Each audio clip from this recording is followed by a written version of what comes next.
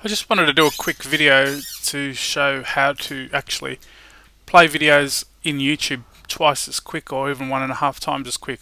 This saves a lot of time. Um, you can watch two videos in the space of one basically. So what you've got to do here is you've got to go to this URL which is youtube.com slash html5 what you'll see down here um, it'll tell you what your browser supports now this is the main one that I found. It's needed is, is WebM but Chrome will support all of these.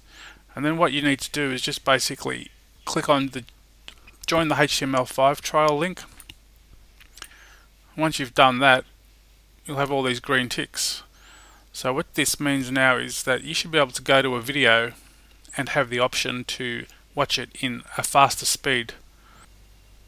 Alright here we go in a video. Okay, we're on the Codecademy website and we're going to attempt one of the examples here. So that's playing in normal speed. Um, we'll take it back to the start and we'll go to this option here which is the settings button. You'll see now we have the ability to play it in various different speeds. So we'll select two times speed most of the time you can watch videos in two times speed unless the people speak very quickly. But uh, in that case you can go to one and a half speed but we'll try it now in two times speed and see how we go. Okay we're on the Codecademy website and we're going to attempt one of the examples here.